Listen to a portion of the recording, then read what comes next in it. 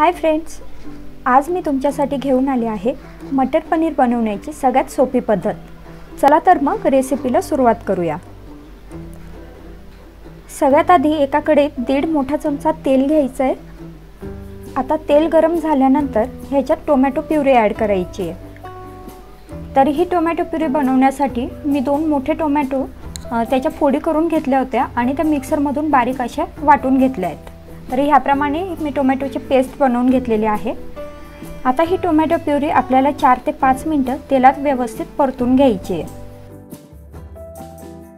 ही tomato puree तेलात परतली जाते तोपर्यंत आपण मसाला बघू. तर इथे मी सुहानाचा मटर पनीर मिक्स हा मसाला वापरलेला आहे.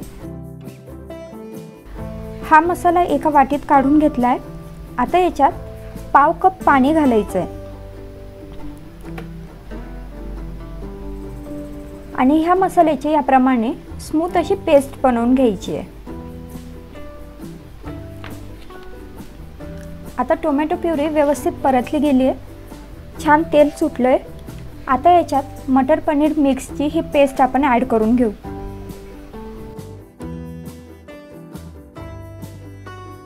आणि आता हा मसाला पण आपल्याला दोन ते तीन मिनटं व्यवस्थित परतून घ्यायचा आहे.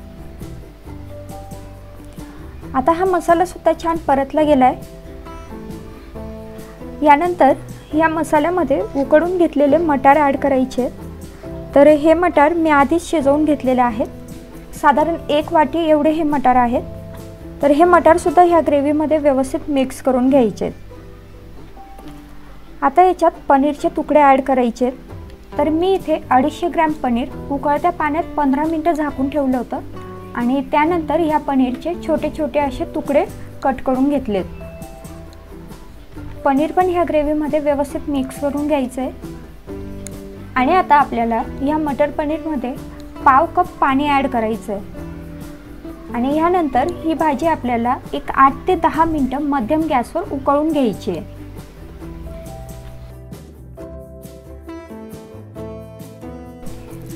तर अशा पद्धतीने फक्त पंधरा मिनिटात हॉटेलसारखा मटर पनीर इथे तयार आहे. तर अशा पद्धतीने फक्त पंधरा मिनिटात हॉटेलसारखा मटर पनीर इथे तयार आहे. तर मग आजची रेसिपी तुम्हाला आवडली असेल तर लाईक करा आणि तुम्ही चॅनलला अजून सबस्क्राईब केलं नसेल तर प्लीज सबस्क्राईब करून घ्या. पुन्हा भेटू पुढची नवीन रेसिपी घेऊन.